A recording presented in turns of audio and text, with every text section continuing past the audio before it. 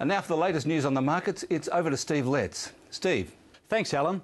Well, Wall Street's recent bullish sentiment continued through to the end of the week, with all the key indices up around 1.5% on Friday.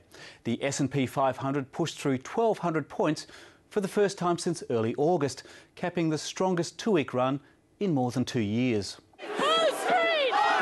Across the road, the Occupy Wall Street protesters also had a pretty feisty rally themselves, fighting off attempts to raise their month-long siege of a financial district park. We're peaceful. The sound and fury didn't obscure the fact that the current profit reporting season is going quite smoothly. Forecasts of a 12% rise in overall earnings look like being revised up, with so far 70% of company results beating expectations.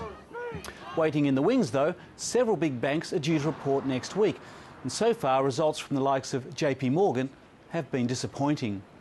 However, the fate of the rally still largely depends on the dubious proposition of Europe getting its financial house in order. But for the time being, the appetite for risk has returned. Over the week, the US was up 6%, while Europe and the UK also enjoyed healthy gains. The ASX was the laggard, which to some extent was weighed down by a stronger Australian dollar. With more on the local market, here's Marcus Padley. Well, the Greece is not going to default this month rally has seen the market up 10.8% in less than two weeks uh, although it did peak a little bit on Thursday with some rather weaker than expected Chinese trade numbers. Uh, one of the sectors doing quite well this week was the banks. They're running into results and dividends. The National Bank has results on the 27th, the ANZ and Westpac early in November, and the CBA has trading update as well. Another sector doing quite well was the resources sector. Any company with third quarter production numbers seems to have gone up, uh, including Rio, Iluka, Oz Minerals, PanAust, and Kagara. Not so lucky in resources this week was Alumina, which saw their share price down after their joint venture partner in the US, Alcoa, kicked off the US results season with a rather poor set of results.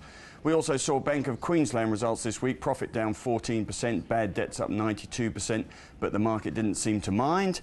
Uh, JB Hi-Fi was up on their AGM. Uh, they told us trading conditions are challenging, but we're reasonably optimistic running into Christmas. And there are some hopes this week that we're going to see an interest rate cut on Cup Day, uh, which would help the whole retail sector.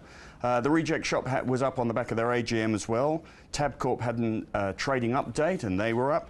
ERA went into a trading halt on Tuesday, uh, pending a $500 million capital raising at a huge 53% discount to the current share price.